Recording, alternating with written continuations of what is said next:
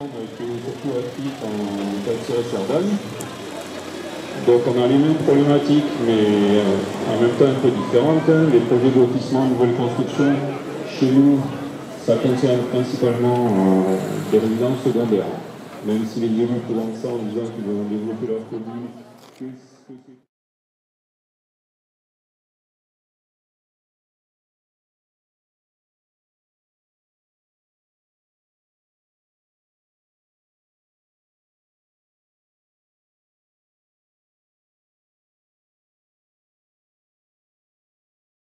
la commune, la commune etc. En réalité, on sait très bien que c'est destiné à ça. Donc, nous, on est parti beaucoup sur euh, l'action juridique. Pas très bien, c'est euh, la rigolo, entre guillemets, en mobilisant, donc, euh, de, de se rassembler,